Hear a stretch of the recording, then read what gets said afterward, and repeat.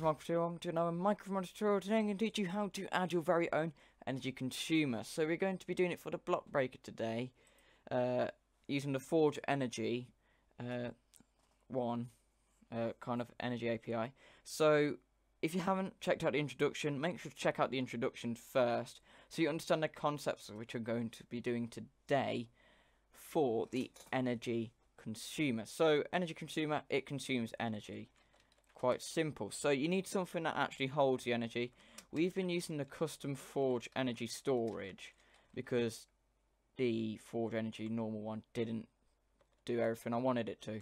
So in the constructor we are going to add this energy storage but like last time if we have a look at the energy cell here I had to I had the tier had it tiered so I'm going to add this again but make sure to take in a chip type now.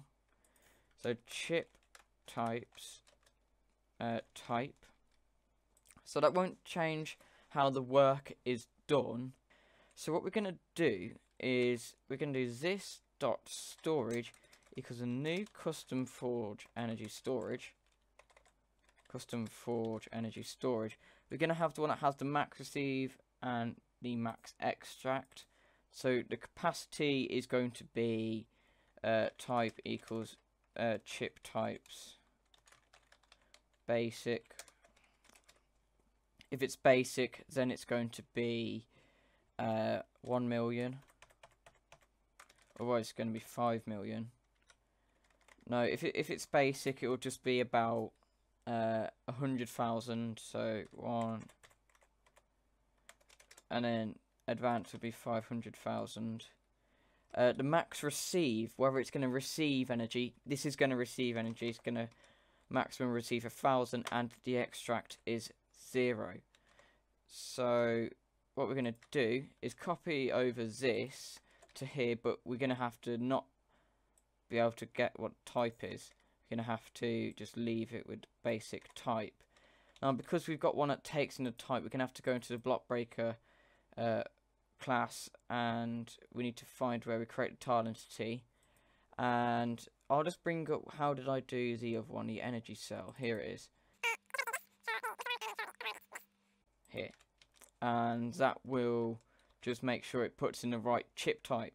So we've got our storage. We now need to obviously write the storage. So this dot storage dot read from NBT and here it's uh, this dot storage dot write to NBT and now we've read and read from NBT that is our NBT done.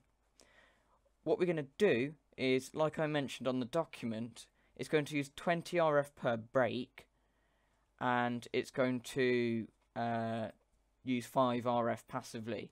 So here we're going to do the passive one so this dot storage dot and what we're going to do is going to take energy and the end you're going to take 5 R, uh, 5 RF or 5 FE it's the same thing really passively. And then in break block what we're going to do if you've successfully broken the block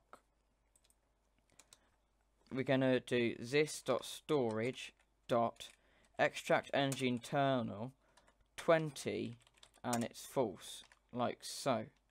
So we've got it so it handles the energy. Now we need to actually get the capabilities. So I think right near the bottom we have our capabilities. Uh, for Forge, capabilities are just simple as just if capability is the capability energy. But when we get onto stuff like Tesla, it's actually uh, different. They have three different types of capabilities for energy.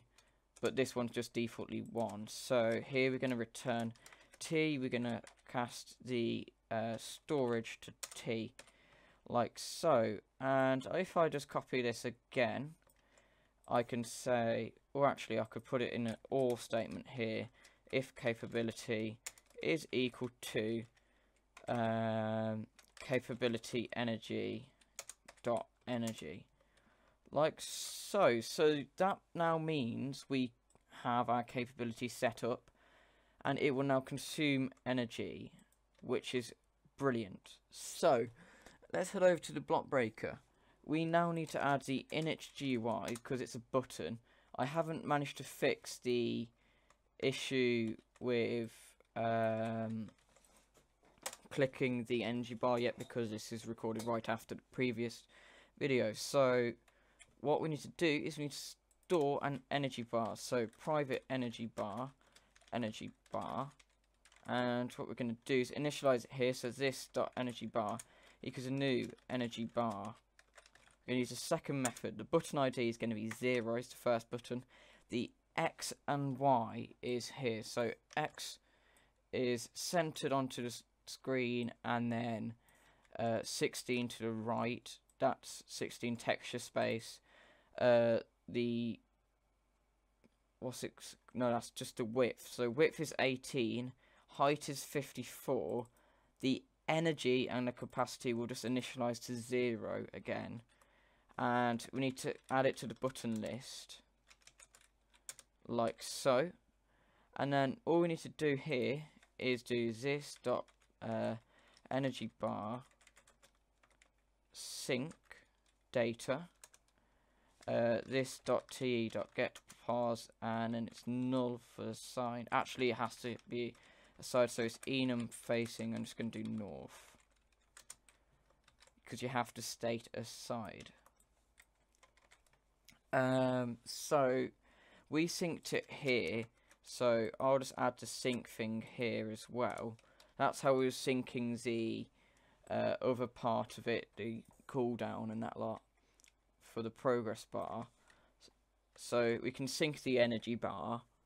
And what we can do is we want to make sure when it's hovered, it's going to say how much energy is inside of it, similar to the, uh, where's the GUI? GUI energy cell.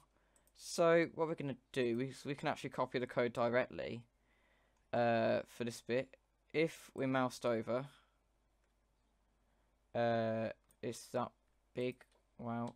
If we moused over, we're going to do that, but then we're not going to add the energy difference thing on the end. Uh, like so, I believe. Like so. And if we get rid of this bit here that will fix that up so it displays our energy correctly um, the correct energy and capacity and I believe that is it we'll now start using uh, energy which is super awesome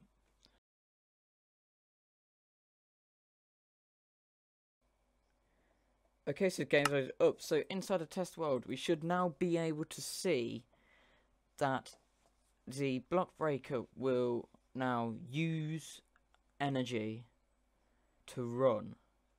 Uh, so this is actually getting power. As we can see, this is getting power from the neighbouring block. Uh, which is nice. Power. So if I place I believe it was this one on the right. You can see that it's now losing 5 constantly. And if I say get a cobblestone generator, so lava, water,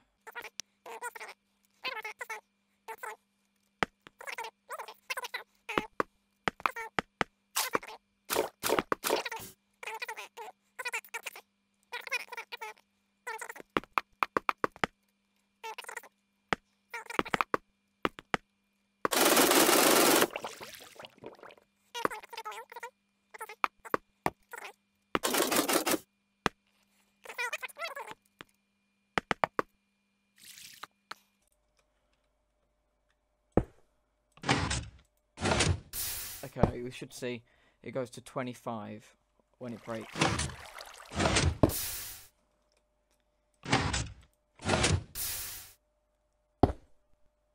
That didn't go to 25. So let's imagine that we haven't got this block anymore. So this is just draining its internal buffer now. Um, oh, I didn't see it. 105. So that's pretty sharp. Because you got 5 efficiency, 20 for breaking it, 5 passively. So that's 70 and 20, that's about 95. Which, which is about roughly what it's doing. So yeah. Thank you guys for watching. Don't like, comment and subscribe. I am out.